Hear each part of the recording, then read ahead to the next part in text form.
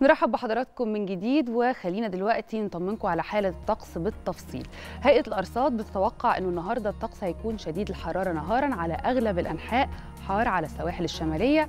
أما بالليل الجو هيكون معتدل على أغلب الأنحاء مائل للحرارة على جنوب سيناء وجنوب البلاد وفي نشاط رياح على مناطق متفرقة على القاهرة الكبرى والوجه البحري ومدن القناة على جنوب سيناء وسلاسل جبال البحر الأحمر وشمال الصعيد. خلينا نعرف تفاصيل أكتر عن الجو النهاردة من دكتور محمود القياتي عضو المركز الإعلامي بهيئة الأرصاد الجوية. صباح الخير على حضرتك يا دكتور كل سنة وحضرتك طيب ولو تطمنا على حالة الجو النهاردة. صباح الخير على حضرتك أستاذة جمانة وعلى كل السادة المشاهدين وكل عام وحضراتكم دايما طيبين وبخير. يمكن إحنا من يوم الأحد يعني أول أيام عيد الأضحى المبارك بالفعل بدأنا نحس بشيء من التحسن في الأحوال الجوية بعد ذروة موجة شديدة الحرارة. كنا شهدنا فيها ارتفاع كبير في درجات الحرارة وصلت لقيم 43 درجة مئوية بالنسبة للقاهرة ووصلت بالفعل ل 48 على جنوب الصعيد. لكن من يوم الأحد بدأت تنخفض درجات الحرارة بشكل تدريجي وبدأ كل يوم يكون درجات الحرارة فيها أقل من اليوم اللي قبله. يمكن بالأمس سجلت درجات الحرارة على القاهرة في حدود ال 36 ل 37 درجة. كانت برضه درجات الحرارة أقل من القاهرة الكبرى. لكن محافظات جنوب الصعيد لا زالت تحافظ على درجات حرارة مرتفعة بشكل كبير. جنوب الصعيد درجات الحرارة فيه في حدود ال 46 درجة مئوية. لو اتكلمنا عن اليوم تحديدا هتكون فيها درجات الحرارة مشابهه للأمس بشكل كبير. متوقع العظمى اليوم على القاهرة في حدود ال 37 درجة مئوية. يعني درجات الحرارة تعتبر أعلى من المعدلات الطبيعية لكن بمعدلات طفيفة. وبالتأكيد بيظل معها الطقس شديد الحرارة على أغلب المناطق الداخلية للجمهورية خاصة خلال فترات الظهيرة. بنتكلم عن القاهرة الكبرى الوجه البحري ومدن القناة. وأيضا محافظات شمال وجنوب الصعيد وأيضا جنوب سيناء ما عدا السواحل الشمالية اللي درجات الحرارة عليها بتكون منخفضة بشكل ملحوظ عن باقي مناطق الجمهورية بتكون عليها درجات الحرارة في حدود ال 30 درجة مئوية. لكن في المقابل طبعا نسب الرطوبة على السواحل الشمالية تعتبر هي الأعلى مقارنة بباقي مناطق الجمهورية. نسب الرطوبة زي ما إحنا عارفين بتزود إحساسنا شوية بدرجات ارتفاع درجات الحرارة. الفترة الحالية بالتأكيد بدأنا نحس بارتفاع نسب الرطوبة خاصة على المناطق الداخلية كمان بالإضافة للسواحل الشمالية خاصة خلال ساعات الليل وده بيخلي درجات الحرارة بالليل وإن كانت معتدلة بشكل كبير يعني القاهرة بتسجل بالليل درجات حرارة في حدود ال 24 درجة مئوية والسواحل الشمالية بتوصل ل 20 و 22 درجة. لكن بالفعل خلال ساعات الليل بنحس بحالة من الدفء نسبيا على العديد من مناطق الجمهورية. ده بسبب ارتفاع نسب الرطوبة. الخرائط بتشير إنه على مدار الأيام القادمة بنتكلم لمدة أسبوع تقريبا حتى بدايات الأسبوع المقبل. هيكون في درجات حرارة مشابهة لهذه الأيام أو ربما أعلى كمان بمعدل درجة لدرجتين.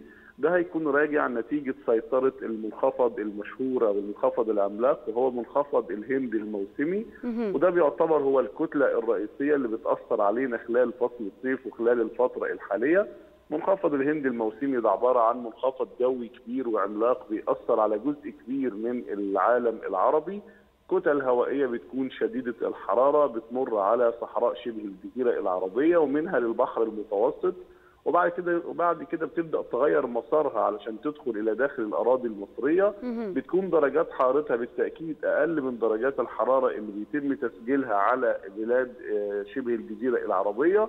لكن في المقابل بيكون محمل بشكل أكبر أو مشبع بنسب الرطوبه بالإضافة هيكون عندنا امتداد لمنخفض جوي في طبقات الجو العليا.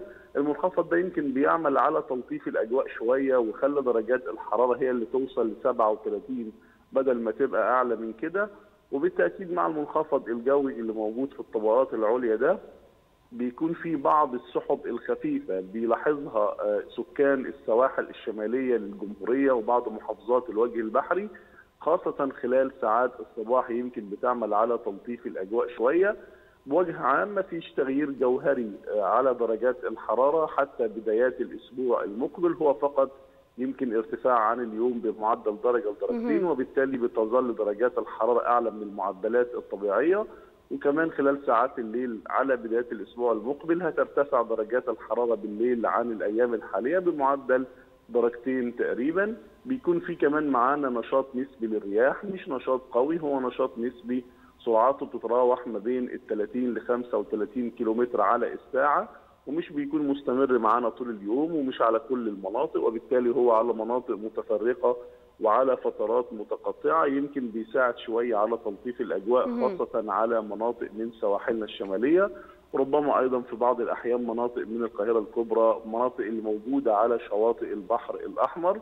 كمان يمكن اليوم تحديدا في بعض الاضطراب النسبي على مناطق من البحر الأحمر.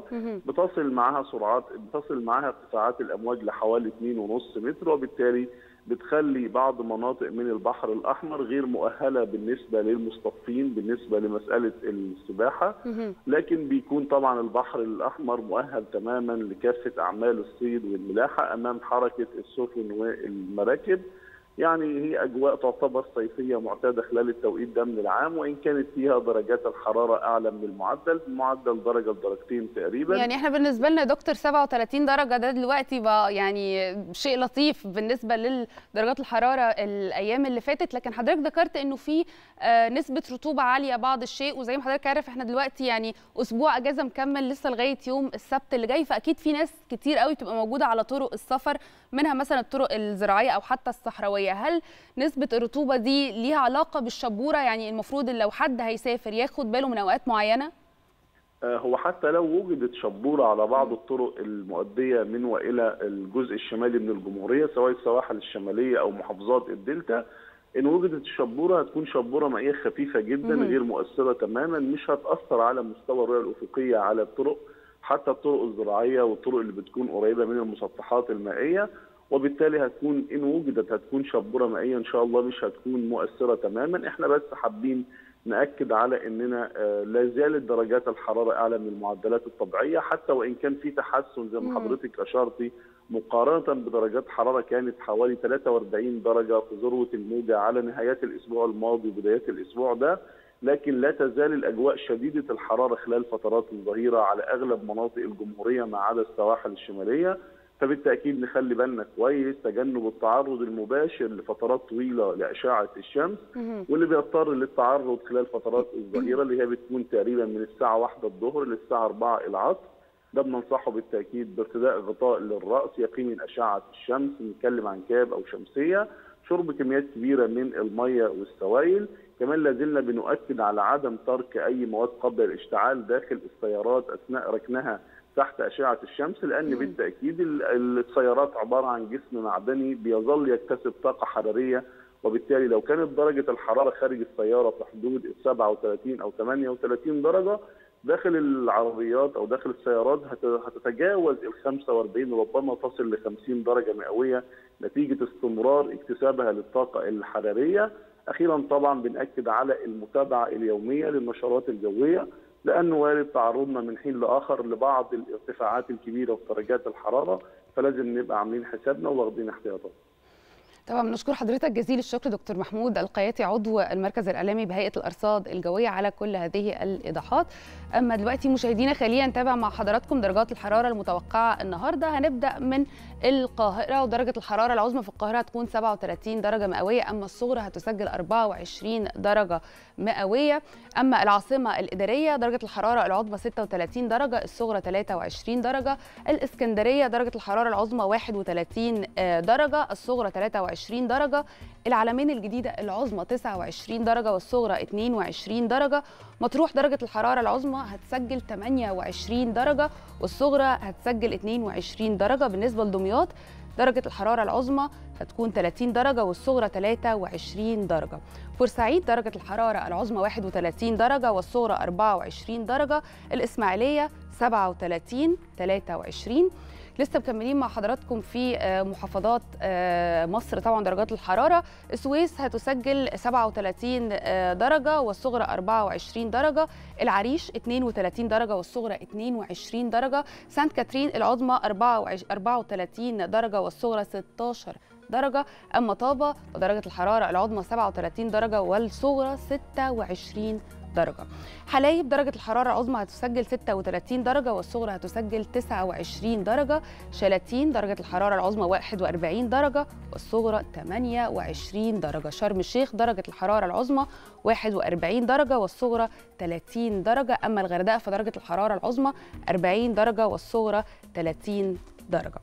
الفيوم كمان درجة الحرارة العظمى هتكون 37 درجة الصغرى 24 درجة بني سويف 38 25 الوادي الجديد 41 29 أسيوط درجة الحرارة العظمى 39 درجة والصغرى 26 درجة سوهاج درجة الحرارة العظمى 40 درجة والصغرى 28 درجة وقنا 44 30 أما الأقصر درجة الحرارة العظمى هتسجل 44 درجة والصغرى 30 درجة وأسوان درجة الحرارة العظمى 45 درجة والصغرى 31 درجة. ده كان بيان بحالة الطقس النهاردة في معظم محافظات جمهورية مصر العربية.